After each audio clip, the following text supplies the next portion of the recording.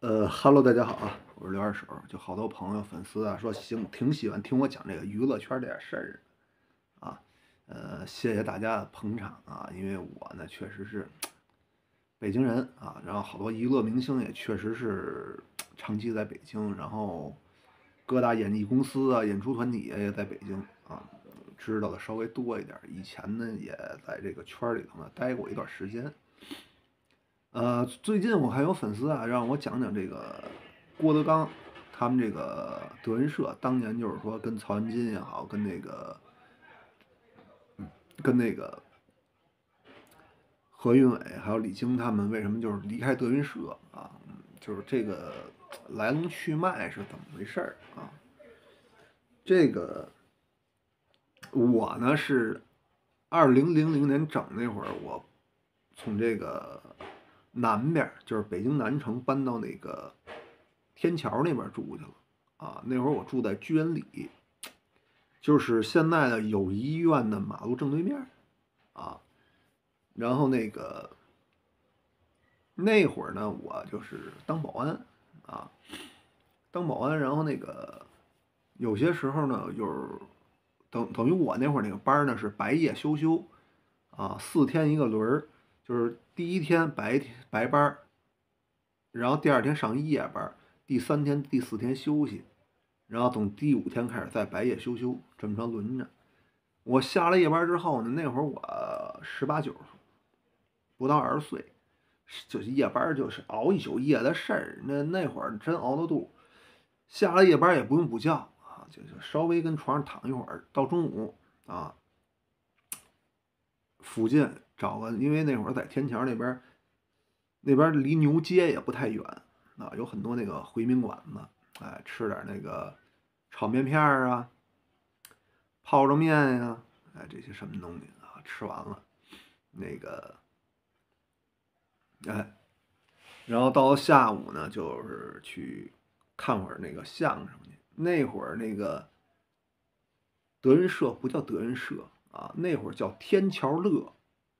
啊，天桥乐茶园在那个北京的自然博物馆对面哎，那儿就是那儿，就是现在的这个德云社的天桥总店，啊，那会儿叫天桥乐啊，二十块钱一张票啊，下午两点半听到四点半，有时候他们给延个场呢，就是有个小返场什么的，能到五点，哎，然后那个。我中午吃完饭呢，买点那散装那个锅巴啊，然后再买点花生米，然后再弄点那个一小瓶二锅头啊，我们北京人管那叫小二，哎，就去那儿听去。那会儿人不多，其实那个时候相声啊属于最落魄那几年，然后那会儿呢就是等于去那儿听去就是打发时间玩闹。那会儿郭德纲呢，基本上是天天去那儿演去，因为那会儿他还没出名呢，啊，就是你每天到下午去看去吧，准有他啊。包括那会儿那个有谁呢？有那个呃徐德亮，有那个王月波啊什么的，英宁什么这些人，那会儿都在这个那儿。那会儿他还不叫德云社，叫北京相声大会啊。那会儿。哎，就这么帮人在那儿说，哎，时不时说完之后了呢，演员呢，呃，跟观众呢，就还可以交流一下，啊，其实那会儿呢，他们就是挺难的，啊，那会儿郭德纲住哪儿呢？住青塔那边，啊，青塔在哪儿呢？在那莲花桥再往西边那儿，啊，就是快到现在的叫哎，凯迪拉克中心那儿。就青塔那一片啊，那一片呢有一片那破民房，就是租金便宜啊，有个大院子呀什么的，一个月交个几百块钱房租，哎，就跟那儿住住一个月，哎，就那样啊。然后那会儿他就开始收徒啊，什么曹云金啊、何云伟啊、李菁啊什么的这些。当时呢，就是怎么说呢，就是他们这些人啊，认为大家都是一块儿的，就是。众人拾柴火焰高，大家都平起平坐那么个事儿啊。哎，但是郭德纲他认为呢，哎，我是大哥啊，我是领路人，所以呢，从一开始对于各自身份上的这个定位啊，他就有一个差异化啊，就是就是出就是这些人认为咱们大家都是合伙人，都是创始人这个意思，但是郭德纲认为呢，哎，我就是那老板啊，是这么着，然后慢慢的呢。呃，郭德纲真正转折点是他遇着他这个媳妇王慧儿啊，他王慧儿就是在那个天津那儿有一号啊，人家是那个唱那大鼓的名家，而且王慧呢，社会人啊，社会人就是说，你们通过一些视频啊或者什么的，你能看见王慧这脖脖子后梗子这儿，后脖梗子这儿还纹着好多纹身啊，这都是社会人啊，这人家呃，哎，社会上的。后来呢，就是。郭德纲呢也不知道怎么着巴结上人家了，然后通过他这媳妇儿给他找点门路。那会儿好像是从北京电视台吧，那会儿开始慢慢让他上点节目啊，播点那个他的相声段子呀，哎，开始火起来了啊。其实真正郭德纲真正火是靠北京电视台火的啊，不是说。原来在安徽电视台那会儿，他是上过电视台录节目，但是那没火起来。真正火起来是在北京电视台。然后那会儿收那个曹云金啊，那会儿呢就是咱多了，咱也不说，就曹云金啊、何云伟啊、李菁这一块儿，因为李菁跟郭德纲他们俩是平辈儿，他们俩是平辈儿。然后这个曹云金和何云伟呢，等于是他徒弟啊。那会儿郭德纲呢偏心眼儿。啊，他向着何云伟，当然对曹云金呢，就是抬手就打，张口就骂。早上起来啊，天没亮，比如说说是六点起床，就是规定啊。那个五点四十，郭德纲就一般就去那个这徒弟这屋了，啊，拿一个那个那会儿冬天冷啊，他们那个住青塔那边呢。还得拢火，就是烧那蜂窝煤。烧蜂窝煤，咱们有经验的都知道，烧蜂窝煤得用着一火钩子啊，掏那个炉灰用的。那会儿呢，郭德纲五点四十就去了那个徒弟那屋了，就拿着火钩子，啪就照着这个曹云金的小腿肚那啪一抽啊，当时就一，你也知道抽完那什么后啊，孩子搁那睡呢，起来去给我练贯口去。哎让他练贯口，这贯口啊是这个相声演员这基本功啊。曹云金呢，妈呀，又打我，老打我，然后那个，给我起来，然后呢，呼噜冷的，这冬天的时候大家都懂，那钻被窝里头没有说一下起来的，因为什么呢？你撩这被窝，你除非家里暖气足，你像他们住那平房还笼那蜂窝煤呢，他没那么暖和，他一撩被窝就冷。你知道吗？然后穿好衣服，哎，站院子里边啊，哎，练练贯口去了，哎，小伟他管他那个何云伟叫小伟，那会儿那个郭德纲啊，小伟你那个你再多睡会儿吧啊，一会儿再起来，我去给你买早点去啊。那会儿呢，说是买早点，但是也有偏有向啊。小伟呢，他喜欢吃那个。肉包子啊，他有个肉馅嘛，他好吃。哎，给小伟弄个肉包子，给那个金子呢，也等多弄个油条啊，然后就咔咔就跟那吃了。哎，练练完贯口，到了下午呢，郭德纲心情要好的呢，给他们说两句，就是教他们点儿；不好呢，就是找几个这个社会上这些说相声这些人嘛，哎，请家里头，然后就是聊天，神吹蛋侃，打打牌什么的，就就这一天就混过去了。啊，就就这么着，然后慢慢的呢，就是哎，通过郭德纲的媳妇呢，就是给揽了点活儿啊，什么这儿走穴呀，那儿演出啊什么的，有了这么点知名度了啊，有了点知名度呢，其实慢慢的就能挣着点钱了。我记着有一次是，他们有一天演出啊，挣了那么千八百块钱。当时呢，郭德纲带着这几个徒弟呢，去那个大碗居啊，就是那会儿岳云鹏啊，他没说相声之前，他是在大碗居那个那什么呢？呃，在那打杂的，就是饭饭馆里的小伙计啊，就去那大碗居了。当时呢，郭德纲呢，就是因为他之前他也确实不容易，他老老老老老饿肚子，点了点炸酱面，弄了点那个猪头肉，弄了点松仁小肚啊，就点了点横菜啊，在他眼里啊。当时呢，这个曹云金呢说：“师傅，咱这个就是说吃这饭有点奢吧？就今天刚说挣了点钱，是比前几天挣的多点，但是这钱咱不是得算计着花吗？对不对？啊，当时呢，郭德纲呢在那儿那个什么呢？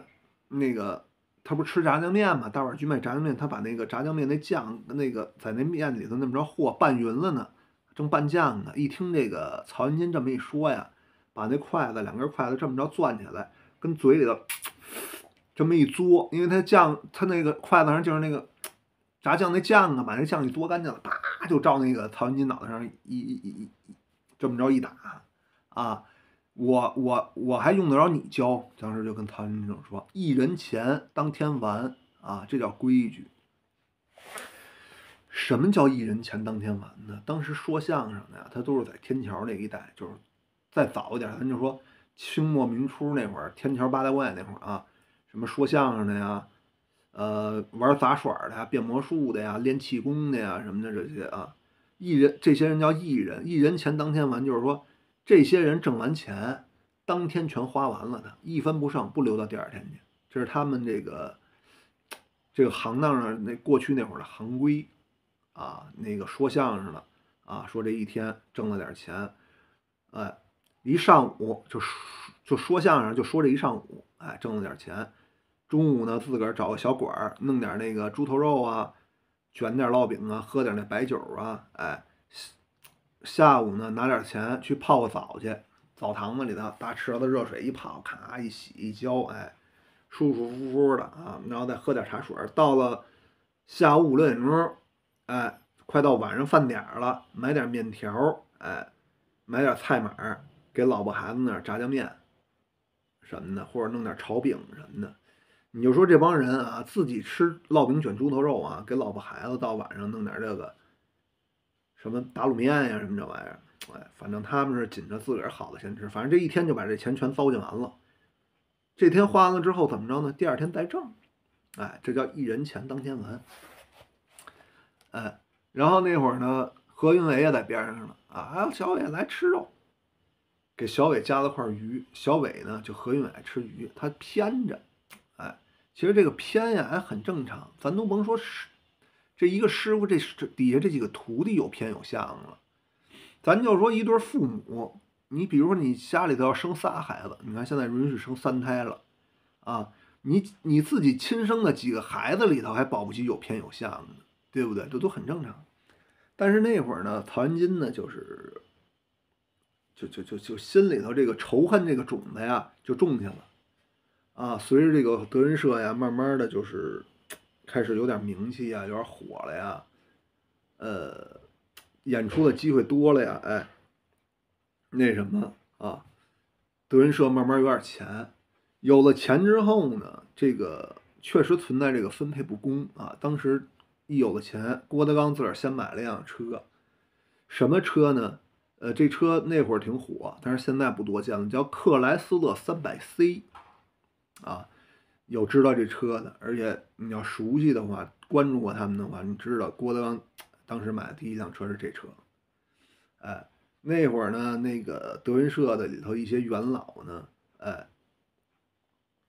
有有有几个老老老的那个演员呢，还得坐地铁来这个剧场演出来。人郭德纲呢，就开着这克莱斯勒三百 C 啊，咔来了啊。这会儿呢，大家就开始这个不平衡了啊，就已经开始有一些情绪了。但是呢，就觉着呃，慢慢的就会好起来的啊。然后那个也就没说什么，就是说觉着以后郭德纲会对他们有一个补偿的啊。完了呢，那会儿呢，就是。德云社除了郭德纲、于谦知名度最高以外呢，然后其次就是李菁跟何云伟，再往下呢就是曹云金跟刘云天，啊。呃，那会儿呢，就是郭德纲跟于谦他们挣多少钱，我不知道啊，我不知道。但是呢，就是何云伟跟李菁他们那会儿，一般就是开始攒底了。攒底就是说，这一天这相声，他们俩李李菁跟何云伟就是最后一个出场，那叫攒底，给五百块钱，就是一人给五百块钱啊。然后那个何云伟不是那个曹云金跟刘云天呢，也是给五百块钱，那都零六年前后了啊。说实话，给的不多啊，因为那会儿。他们呢，就是有一点知名度了。后来那会儿，郭德纲呢带带着他们呢去那个北京电视台啊，他那会儿郭德纲跟北京电视台关系打通了，录了一个节目叫《星夜喜乐会》啊，可能有印象的人都知道《星夜喜乐会》。然后，哎，那个这德云社这些演员啊什么的都在这个里头啊，包括。郭德纲和那个于谦儿，他们俩主要主持。李菁跟何云伟呢，哎，也在里头。慢慢，这这个他们李菁跟何云伟他们参与录制这节目，一期给他们多少钱呢？两千块钱，给两千块钱。啊，其实呢是比说一场相声给五百多点，但是录节目也累呀，啊，但是也不多。后来等慢慢的，郭德纲开始录节目，去走穴、接商演，甚至拍电影。后来慢慢，郭德纲。啊，就开始换车了，换了一辆什么车呢？奥迪 Q 七啊，就是一个枣红色的奥迪 Q 七。那会儿呢，还是有相当一部分演员呢，就是坐公交车、挤地铁来。有车的呢，其实也不是说通过说相声挣钱，那时候家里父母出钱给买的啊，就十几万、二十几万的车，跟郭德纲那 Q 七没法比。啊，然后后来那会儿，郭德纲还买了一个奔驰的那个七座那么一个商务车，啊，就就就，这这就开始了，就大家心里很不平衡了。后来那会儿呢，就是造成了很多积怨啊。然后有一回郭德纲过生日嘛，然后这个李菁啊、何云伟啊、曹云金啊，他们就商量着说，要那什么，要分家，因为那会儿郭德郭德纲让他们签一个合同。就是这合同有点像终终身制的一个卖身契似的啊，就是说你这辈子你就得跟我这干，跟德云社干。如果你要辞职了，你就得赔我一笔一大笔钱什么的。后来他们就不想签嘛，然后后来就是他们哥几个商量好了，在郭德纲生日的时候呢就闹，就跟他提出来这个不干了啊，要退出。当时李菁跟何云伟呢岁数稍微大一点，曹云金呢年轻一点。这俩人呢，李菁跟何云伟呢，背地里使一团儿，让曹云金先去出头去啊。然后当时呢，曹云金呢就就当时他们俩就捧着曹云，就是说，我跟你说这里头啊，就你机缘最深，就他对你郭德纲对你最次。我跟你说，我我我看着我都看不过去了，你知道吗？所以今儿这话必须得你说啊。当时曹云金呢也觉得是这么回事儿，然后呢，当时就去了啊，就是这那的，我坐哪儿啊？啊，我跟哪儿坐啊？那那这都什么菜呀？我吃不了，我不爱吃，我吃不饱啊。然后最后呢，就是在那个，因为当天那个郭德纲办生日那个是在郭德纲自个儿开的那么一个餐厅里头啊。然后那个有一关公像啊，就在关公像上说说今天我就退出德云社了啊。如果说我今后反悔，我就是个鸡巴。就是你们从网上看那个段子啊，说当时曹云金说，如果我反悔，我是个傻叉儿啊。其实当时的原话说我是个鸡巴，嗯。说完了之后呢，就走了啊。然后那个给那个何云伟打电话，说我闹完了啊，说那个看你们俩的了。何云伟听完了呢，就何云伟跟李菁当时还坐里边吃饭呢，就是那那天不是郭德纲生日吗？就挂了电话了。就把那手机盖一扣，那会儿那个手机啊还不是智能的，何云伟用一个那个翻盖手机啊，咔盖这么一扣，我知道了啊，完了呢，哎，但是你们从网上啊看到的是王慧出来说什么呢？就是说你就跟这些徒弟跪着求这些徒弟说你们甭走啊，那个。就是别走，不能这么难为你们师傅。但实际上，王慧并没有跪下来，你见哪个大佬成天天的给这个底下人跪下来的？当时王慧说的是：“你们师傅不容易，你们师傅怎么带你们的啊？你们心里清楚。今天咱们就在这儿把话说清楚了。愿意走的，现在他妈给我滚蛋啊！愿意留下的，拿起筷子来给我吃饭啊！这是当时王慧说说的，就是郭德纲媳妇儿说的这个原话啊，根本就没跪啊！你那个跪呀。”是这个网络一些写手就是有点渲染了啊，就是知道吧？哎，这是我说的这个是原话。然后当时呢，那个本来呢何云伟跟李菁呢想走，但是没走。但是他第二天他们提出了辞职，当天还是把饭吃完了再走的。后来呢，那个曹云金跟那个刘云天呢，他们俩成立了一个小剧场，叫听云轩。啊，然后那个李菁跟何云伟呢，他们俩哎又单另了一个小馆儿啊，就单单去说相声的，哎，其实这就是当时这么一个前因后果吧，啊，其实这里头事儿也挺复杂的，我也只能知道这么一一星半点，就给大家分享出来，好吧，今天就说这么多，拜拜。